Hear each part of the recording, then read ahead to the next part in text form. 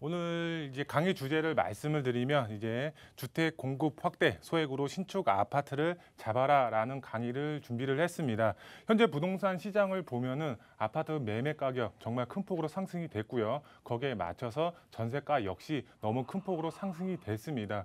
여기에 공통점이 있는데 바로 이렇게 가격 자체가 큰 폭으로 상승이 된 점, 바로 공급량 자체가 부족하기 때문에 이렇게 매매 가격과 전세 가격이 큰 폭으로 상승이 됐다고 보시면 좋을 것 같은데요. 정부 자체에서도 이 매매 가격과 매매 가격과 그리고 전세 가격 전세가가 이렇게 높게 형성이 된 이유 바로 공급량 자체가 부족하다는 걸 인정을 했습니다. 그래서 정부 자체에서도 공급량 자체를 늘리기 위해서 지금 내년부터 이제 공급량 자체를 늘리기 위해서 지금 계획을 갖고 있는데요. 거기에 맞춰서 우리는 정말 소액으로 아파트 투자할 수는 없습니다. 그렇기 때문에 정말 소액으로 아파트를 받을 수 있는 그런 투자 전략을 세워야 될 텐데요. 오늘 강의를 통해서 어떻게 투자 전략을 세워야 될지 알아보는 시간 갖도록 하겠습니다.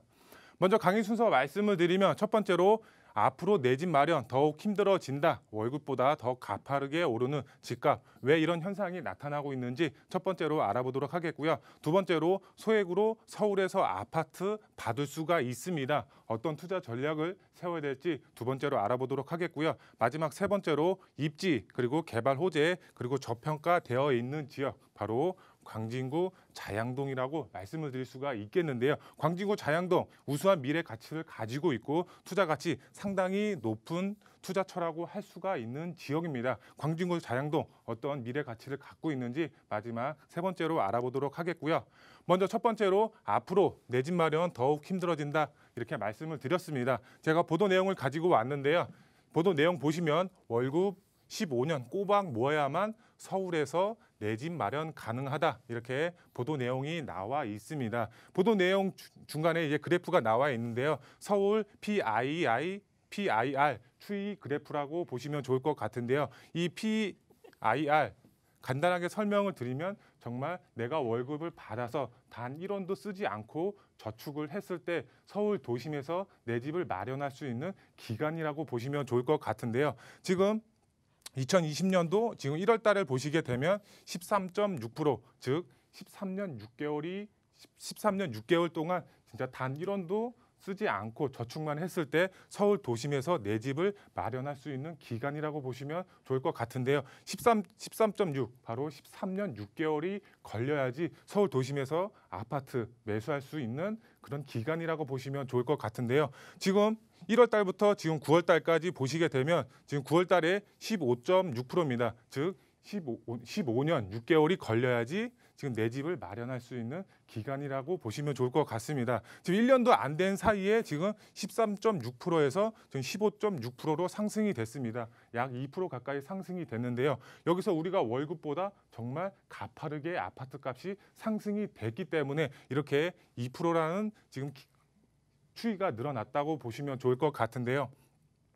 정말 월급 1%도 단 1원도 쓰지 않고 소비 없이 저축을 할 수는 없습니다. 우리가 삶을 영위하는데 소비가 무조건 필수적으로 들어갈 수밖에 없는 상황입니다. 소비를 안 하면은 안 할 수가 없습니다. 왜? 삶을 살아가야 되는데 어쩔 수가 없습니다. 그렇기 때문에 우리가 투자를 하기 위해서 어떻게 해야 될까요? 정말 소액으로 저축을 해서 정말 내 자금을 마련했을 때 소액으로 소액으로 투자를 할 수밖에 없는 상황입니다. 왜? 정말 월급 갖고는 내 집을 마련할 수가 없기 때문에 정말 종, 종잣돈 마련해서 투자를 해서 자금 자금 자체를 조금씩 모아 간 다음에 투자를 할 수밖에 없는 지금 부동산 시장이 이렇게 흘러가고 있다 이렇게 이해하시면 좋을 것 같고요. 두 번째로 소액으로 서울에서 아파트 받을 수 있는 투자 전략 어떻게 되는지 알아보도록 하, 하겠습니다. 먼저 서울 아파트 가격 자체 정말 큰 폭으로 상승이 됐습니다. 평균 매매 가격 자체가 10억대로 지금 유지가 되고 있습니다. 거기서 더 상승이 될 것으로 보여지고 있습니다. 내년에는 공급 물량 자체가 반토막이 나고 내후년에는 거기서 또 반토막이 난다고 합니다. 그만큼 자, 그만큼 이제 내년이나 내후년에 아파트 가격 더 큰 폭으로 상승이 될 것으로 예상이 되고 있고요. 지금 전세가도 큰 폭으로 상승이 되고 있습니다. 그만큼 공급 물량 자체가 부족하고 이앞 전세 자체의 물량 자체가 부족해지면 정말 전세가 역시도 큰 폭으로 상승이 될 수밖에 없습니다. 그리고 계약갱신 청구권으로 인해서 정말 공급 자체가 부족한 상황이기 때문에 전세가가 올해보다 내년에 더 큰 폭으로 상승이 될 것으로 지금 예상이 되고 있고요. 그만큼 우리 부동산 시장에 보면 공급량 자체, 아파트 공, 공급량 자체가 부족한 부족하다고 말씀을 드릴 수가 있겠습니다. 그만큼 집가 계속적으로 상승이 될 수밖에 없는 현재 부동산 상황이라고 이해하시면 좋을 것 같은데요. 정부 자체 앞서서 말씀을 드렸는데요.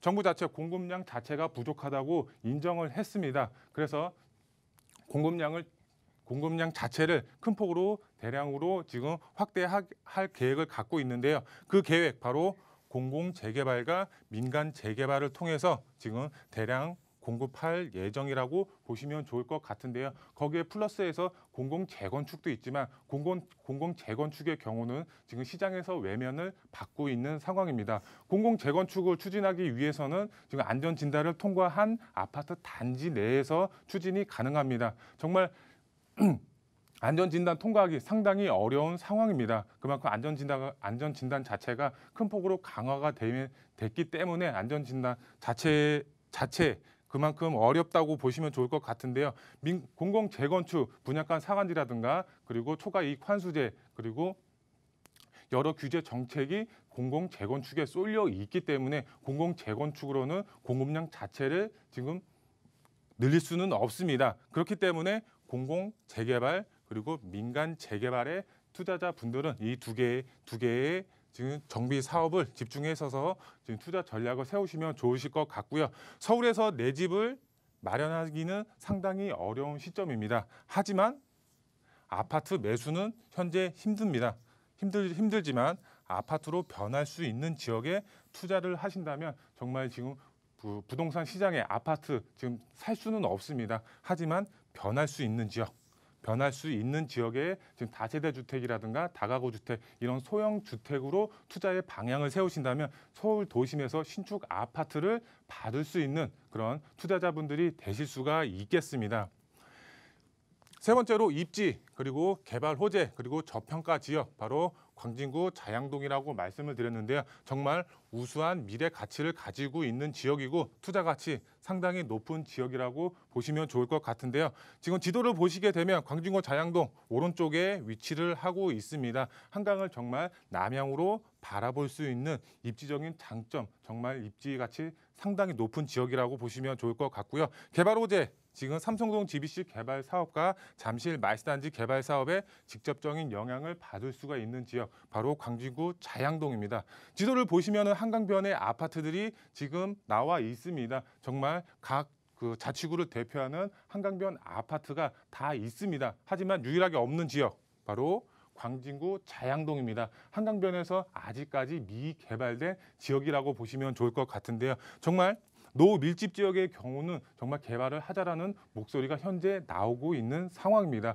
그만큼 개발이 됐을 때 한강을 남향으로 바라볼 수 있는 입지적인 장점을 가지고 있기 때문에 많은 투자의 수요가 바로 광진구 자양동으로 몰리고 있습니다. 지금 삼 지금 잠실권역 토지 거래 허가 구역으로 묶여 있기 때문에 투자를 하고 싶어도 할 수가 없습니다. 실거주 하실 분들만 들어가실 수가 있는데 이쪽 지역 평균 아파트 가격 자체가 20억에서 30억 가까이 됩니다. 정말 실거주로 들어가고 싶어도 들어갈 수가 없습니다. 그렇기 때문에 그 투자의 수요와 실거주와 실거주의 그 수요 자체가 지금 광진구 자양동으로 몰리고 있습니다. 다리 하나만 건너가면 만날 수가 있는 지역이 바로 광진구 자양동이기 때문에 많은 투자의 수요와 주거 주거의 수요가 지금 광진구 자양동으로 몰리고 있습니다. 지금도 지가가 상승이 되고 있기 때문에 발빠르게 움직이셔야지 이 투자의 계획 세우실 수가 있다고 말씀을 드릴 수가 있겠고요. 투자 포인트 세 가지로 말씀을 드리겠습니다. 첫 번째로 서울 전 지역 투기 과열 지구로 묶여 있습니다. 25개구 전부 투기 과열 지구로 묶여 있는데요. 지금 현재 금리 자체가 0.5% 고정 금리로 되어 있습니다. 금리 자체가 낮으면 우리가 대출을 받았을 때 이자 자체가 낮기 때문에 많은 투자 수요가 몰릴 것으로 예상이 되고 있지만 하지만 대출이 안 됩니다. 왜? 전 서울 25개구 자체가 투기 과열지구로 묶여 있기 때문에 대출 자체가 안 됩니다.